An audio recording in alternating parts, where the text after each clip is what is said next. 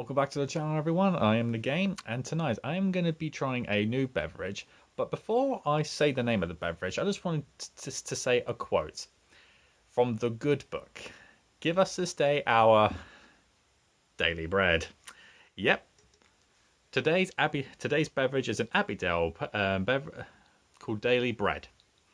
Now, if you remember in my Desperados Red video uh, the other day, when in, um, in, in that same off license where I got uh, where I got that drink, I, I came across this one and two others.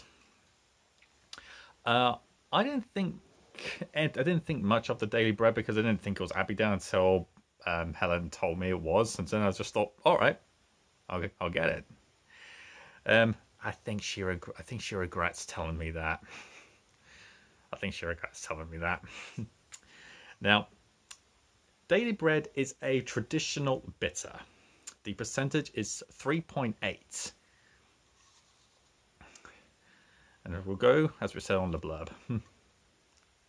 Give us this day our daily bread.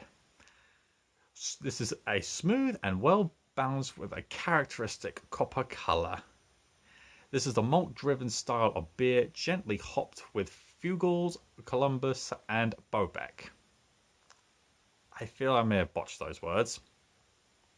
It holds a tasty, subtle sweetness wrapped in a moreish, bitter finish. Quite excited. Let's just uh, get me glass.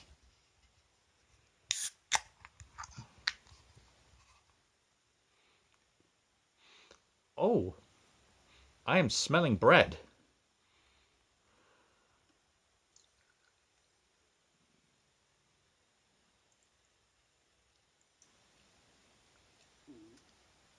A beverage, I am smelling bread. So they so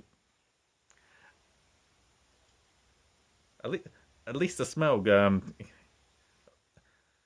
at least it smells like it. But it does smell very nice. Mm. Mm. Mm. Mm.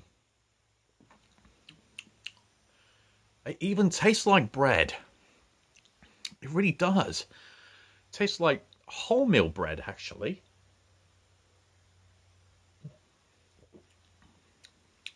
Oh, that is that is fantastic. Oh, I love that. I am so glad, Helen, honey. I am so glad you told me um, about this one. That this was an Abbeydale one. This one's for you, honey. Thank you. Oh my god. Oh, that's so delicious. That's so good. Hmm. Well, I'm actually going to be doing another review um, later on this evening. Um, I put a picture on it on Twitter earlier today, and a couple of my and a couple of my mates have uh, warned warned me about it. So um, we'll uh, wait and see. So I hope you guys check that one out, and I'll see you soon.